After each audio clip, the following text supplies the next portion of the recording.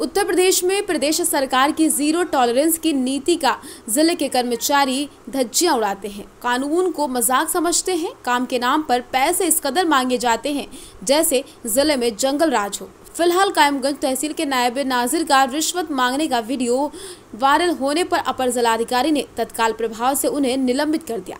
दरअसल तहसील कायमगंज में तैनात नायब नाजिर प्रभारी राजस्व लिपिक श्रवण कुमार का एक वीडियो सोशल मीडिया पर वायरल हो रहा है।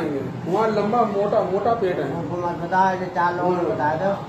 चार लोगों को बताए ना चालीस हज़ार बहुत चार लोगों में चालीस पैसा कम नहीं होने तो और सोच रहे हो।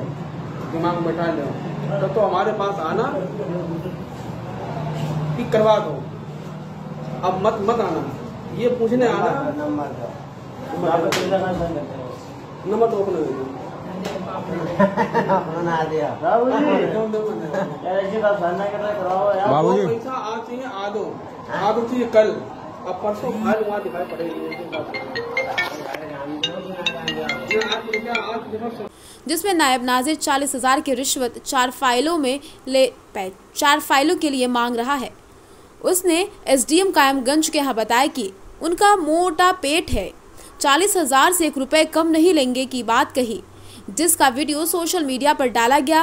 इसका संज्ञान एडीएम ने लिया, उन्होंने जारी आदेश में कहा। सोशल मीडिया के ज़रिए वायरल वीडियो नायब नाजिर का जानकारी में आया। चालीस हज़ार के रिश्वत की मांग की जा रही थी, जिसके चलते डीएम नायब नाजिर को तत्काल प्रभाव से निलंबित कर दिया गया। फ़िलहाल जिला प्रशासन की कार्रवाई से ज़िले के भ्रष्ट कर्मियों में हड़कम मचा है सर फरुखाबाद में एक राजस्व लिपिक का एक हुआ था। क्या पूरा प्रकरण था और डिस्ट्रिक्ट एडमिनिस्ट्रेशन ने क्या कार्रवाई एक सोशल मीडिया पे एक वीडियो वायरल हो रहा है जिसमें नायब नाजिर कायमगंज तहसील के हैं श्रवण कुमार। उनका वीडियो वायरल हो रहा है उसमें जो है उसमें कुछ लेन देन की बात आ रही थी तो जिसको जो है तत्काल प्रभाव से जो है संज्ञान में लेते हुए इनके खिलाफ कार्रवाई की गई और इनको तत्काल प्रभाव से निलंबित कर दिया गया है। और जाँच अधिकारी के रूप में एस डी एम अमृतपुर को नामित किया गया है।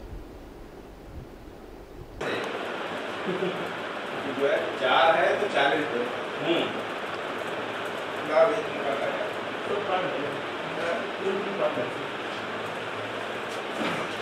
इसकी?